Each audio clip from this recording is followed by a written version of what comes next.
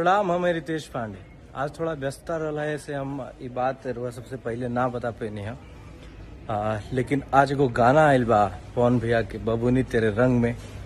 देखनी है बहुत ही गर्दा गाना बा। रुआ सब भी देखी जा खूब ज़्यादा प्यार दुलार दी जा। Love you all